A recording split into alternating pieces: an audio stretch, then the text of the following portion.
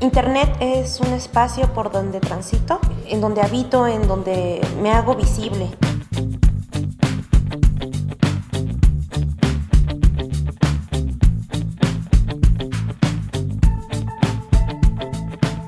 Denunciamos el acoso callejero que vivimos, que ya habíamos denunciado, digamos, en la vida real y si no hubiera sido por el Internet, este tema no se habría puesto en la agenda mediática a nivel mundial. Me posiciona como una persona feminista con ideas que deben ser expresadas, que está dispuesta a señalar la violencia.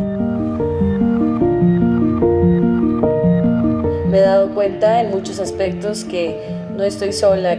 Hay una comunidad feminista muy sólida y no solo eh, en mi ciudad, sino en diferentes partes del país y del mundo. La violencia se ha intensificado y no cesa. Todos los días, sin falta, recibimos mínimo un tweet, un mensaje en Facebook. De cualquier cosa que vean, eh, lo hacen una burla o un ataque. Imágenes con mujeres descuartizadas, amenazas de violaciones correctivas, amenazas de muerte.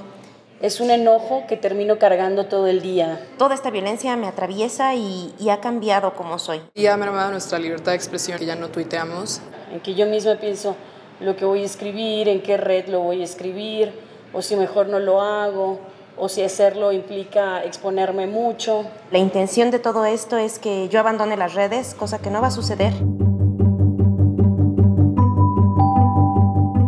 Generar estrategias hace que estemos seguras de que no es nuestra culpa, de que la dimensión es mayor de lo que creemos. Juntas nos volvemos más fuertes porque vemos que esto es sistemático. Porque es una manera de demostrarle pues, al patriarcado que somos muchas, que estamos unidas. Saber que estamos juntas en la lucha ayuda a darte cuenta ¿no? que no estás sola, que varias pasamos por lo mismo, pero que es algo que no nos debe detener ni paralizar.